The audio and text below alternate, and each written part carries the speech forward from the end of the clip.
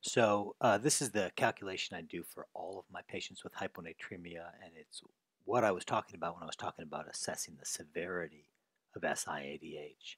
So this is the electrolyte-free water clearance formula, and this will give us a sense of uh, how the patient is handling uh, water, which have the most dramatic effect on serum sodium when it's either high or low.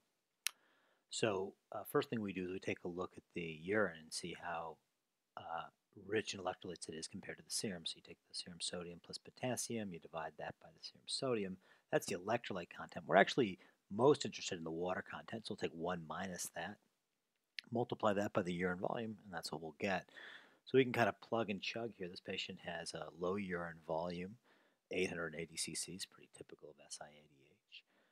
Patient has a very high, remarkably high urine sodium, uh, pretty high urine potassium. You put those together and you get a number that's greater than the uh, serum sodium. And that doesn't happen all that often. And when it does, it's pretty wild. You get this crazy inversion. If you actually run through the calculation, what happens is that uh, this multiplier becomes a negative number. So that means that 880 cc's of urine uh, actually generates a negative 590 cc's of uh, electrolyte-free water. And so what you got to understand is what does it mean to have a negative electrolyte-free water?